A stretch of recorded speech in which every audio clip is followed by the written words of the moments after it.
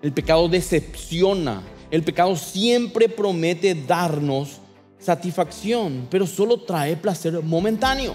Al final siempre nos decepciona y golpea muy fuerte. Claro que el pecado trae un momentáneo placer, o si no, no lo practicaríamos. El pecado destruye todo a su paso, no deja nada en pie. Él no solamente va a tratar contigo en un área, si el pecado llega a entrar a tu vida y a través del pecado también el diablo no va a dejar en pie nada. No es que va a destruir solamente tu granero, va a destruir tu casa, tus sembradíos, tus caballos, le va a destrozar todo. Él necesita entrar nomás. En un área va a usar un área y va a empezar a matar todo. Por eso hay que tratar ya el pecado. Así que si vos estás en este momento practicando un pecado, arrepentite y busca ayuda. Quizás todavía no sea tarde.